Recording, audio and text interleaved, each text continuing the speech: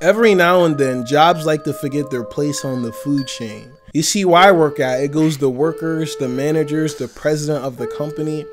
And then there's me. That's right, I'm the big dog. I call the shots. I make the moves. Yo, catch me, catch me in the CEO meetings, not even paying attention what this ball nigga gotta say.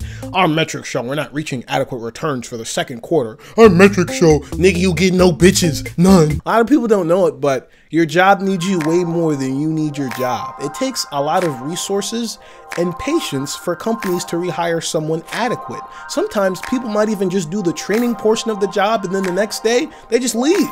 All those fears and resources, that shit keeps them corporate niggas on their toes. Every now and then, they do like to do a little thing called a boundary test. A little boundary test to find out, huh, have we completely wrecked this person's sense of self yet? They tried that shit with me. Got a good old angry sounding voicemail one day, talking in this this overly assertive tone, not asking me nicely, not trying to get on my good side at all. Nah, just straight up, I'm gonna need you to come into work early today.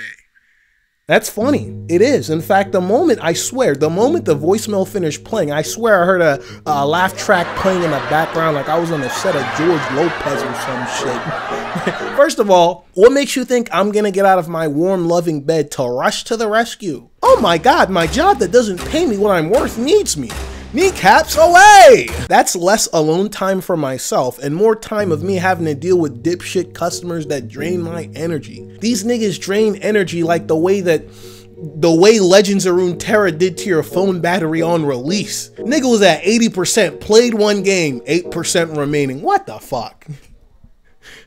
Trying to get me to come in two hours early? Two whole hours early? I might just come in two hours late for that stunt you tried to pull. Can I come into work early? Can I come into work early? How do you even know I'm coming into work today at all?